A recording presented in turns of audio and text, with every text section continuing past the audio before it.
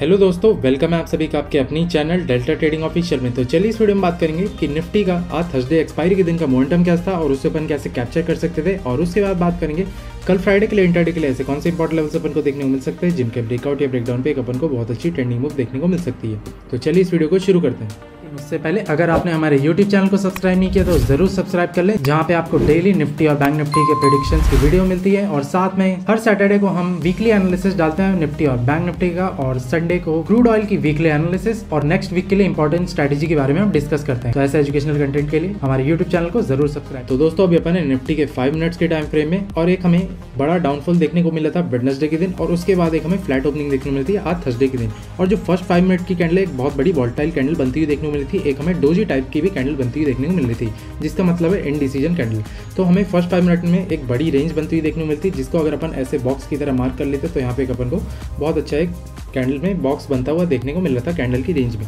और उसके बाद देखें तो इसी के अंदर हमें थोड़ा सा साइडवेज मोमेंटम या फिर कह सकते हैं कि कॉन्सोलिडेशन देखने को मिला और इसका ब्रेकआउट अराउंड दस बज के पाँच मिनट वाली कैंडल्स देखने को मिला है। और जैसे इसका ब्रेकआउट हुआ है, वापस इस रीटेस्ट के बाद एक हमें ऊपर का मोमेंटम देखने को मिला है। अगर मैं रीटेस्ट से कैलकुलेट करूँ बॉक्स के तो वहाँ से हमें वन वे मूवमेंट देखने को मिला वन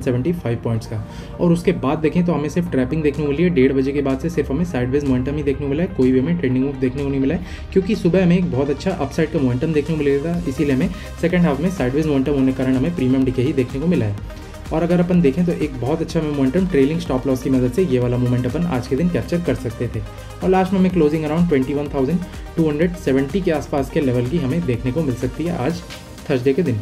तो ये था निफ्टी का। आज थर्सडे के दिन का मोमेंटम का एनालिसिस अब चलिए चलते हैं डेली टाइम फ्रेम में और वहाँ देखेंगे कि लॉन्ग टाइम फ्रेम में कैसा क्या प्राइस एक्शन बना रहा है निफ्टी तो दोस्तों, अपन आ गए वन डे के टाइम फ्रेम में और यहाँ पे अपन को देखने को मिलेगा कि इस स्विंग लेवल से रिजेक्शन के बाद एक हमें बहुत अच्छा अपसाइड का मोमेंटम देखने को मिला था और उसके बाद हमें वेडनेसडे के दिन एक प्रॉफिट बुकिंग देखने को मिली थी और आज हमें थर्सडे के दिन वापस से ऊपर का मोमेंटम कंटिन्यूएशन में होते हुए देखने को मिल रहा है। तो जो क्लियर कट अप अपन अपन को अपसाइड का मूवमेंट देखने को मिलेगा वो मिलेगा सीधे इस लेवल के ऊपर जो कि है ट्वेंटी के लेवल के ऊपर। अगर इस लेवल के ऊपर सस्टेन करता है तो सीधे जो अपना अगला टारगेट रहेगा, वो रहेगा पहले ट्वेंटी का लेवल और इसके ऊपर फिर अपन को ट्वेंटी तक के लेवल देखने को मिल सकते हैं। तो ये तो हो गई अपसाइड की मोमेंटम के बाद निफ्टी में। डाउन साइड में अगर इस लेवल के नीचे हमें डेली टाइम फ्रेम में क्लोजिंग देखने को मिलेगी, जो कि around twenty thousand nine hundred seventy five के आसपास का लेवल तो एक हमें डाउन साइड मोमेंटम देखने को मिल सकता है, जिसमें कि अपना फ़र्स्ट टारगेट रहेगा twenty thousand seven hundred seventy के आसपास का लेवल तो ये था निफ्टी का डेली टाइम फ्रेम एनालिसिस कि अपन को आने वाले दिनों में कैसा क्या मोमेंटम और कहाँ तक के टारगेट्स देखने को मिल सकते हैं। अब चलिए चलते हैं 15 मिनट्स के टाइम फ्रेम में और वहाँ डिस्कस करेंगे। कल फ्राइडे के लिए इंटरडे के लिए इंपॉर्टेंट लेवल्स तो दोस्तों अपन आ गए 15 मिनट्स के टाइम फ्रेम में। सबसे पहले अपन बात करेंगे कि अप साइड की मूवमेंट अपन को कहाँ देखने को मिलेगी। अप साइड में अगर ये वाला लेवल ब्रेकआउट करे जो कि अराउंड 21,337 का लेवल तो इसके ऊपर एक अपन को अच्छा मोमेंटम ऊपर की तरफ़ देखने को मिल सकता है निफ्टी में जिसमें कि जो अपना फ़र्स्ट टारगेट रहेगा वो रहेगा पहले ये वाला स्विंग लेवल जो कि है 21,413 का लेवल और अगर इसके ऊपर भी सस्टेन करता है तो जो अपना सेकंड टारगेट रहेगा वो रहेगा फिर सीधे ये वाला लेवल जो कि अराउंड 21,480 का लेवल और अगर इसके ऊपर भी जाता है तो जो अपना थर्ड टारगेट रहेगा वो रहेगा ये लेवल जो कि है 21,540 के आसपास का। और अपना फोर्थ टारगेट रहेगा ऑल टाइम हाई जो कि है 21,593 का। और जो अपना फाइनल टारगेट रहेगा वो रहेगा फिर सीधे ये लेवल जो कि अराउंड 21,660 के आसपास का लेवल तो ये कुछ इंपॉर्टेंट लेवल्स थे अप साइड में निफ्टी में। अगर 21,337 को अप साइड में ब्रेकआउट करता है तो अब चलिए देखते हैं डाउन साइड की मूवमेंट अपन कहाँ देखने मिलेगी। डाउन साइड में अगर ये वाला लेवल ब्रेकडाउन करे जो कि अराउंड 21,060 का लेवल तो इसके नीचे का हमें डाउन साइड में मोमेंटम देखने को मिल सकता है जिसमें कि जो अपना फ़र्स्ट टारगेट रहेगा डाउन साइड का वो रहेगा 20,975 का लेवल और अगर इसके नीचे सस्टेन करता है तो पहले मैं चार्ट को थोड़ा छोटा कर लेता हूँ क्योंकि इस लेवल के नीचे अपन को बहुत दिनों बाद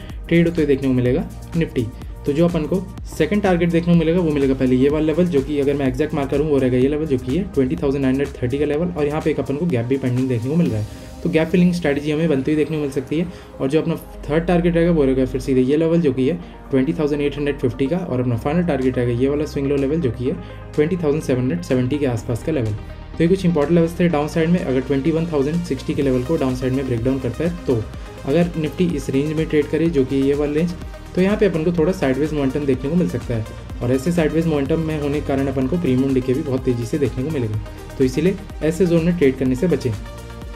और किसी डायरेक्शनल मूव के लिए या तो पहले अपन इस लेवल के ब्रेकआउट होने का वेट करेंगे, जो कि है twenty one thousand three hundred thirty seven का लेवल अप साइड में, या फिर डाउन साइड में ये वाला लेवल ब्रेकडाउन करे, जो कि around twenty one thousand sixty का लेवल तो एक हमें बहुत अच्छी ट्रेनिंग मूव देखने को मिल सकती है, जिस तरह भी ब्रेकआउट या ब्रेकडाउन करे निफ्टी तो उम्मीद करता हूँ कि आपको लेवल्स और एनालिसिस समझ में आएगा और आप इन लेवल्स को अपने चार्ट पे मार्क करके रिस्क मैनेजमेंट और मनी मैनेजमेंट के हिसाब से एजुकेशनल यूज़ के लिए मार्क करेंगे। हमारे फ्री एजुकेशनल टेलग्राम चैनल को भी ज़रूर ज्वाइन करें, जहाँ हम इंटरडे के लिए लेवल्स टेललाइंस और एजुकेशनल चार्ट पोस्ट करते हैं। तो हमारे फ्री एजुकेशनल टेलग्राम चैनल को भी ज़रूर ज्वाइन करें।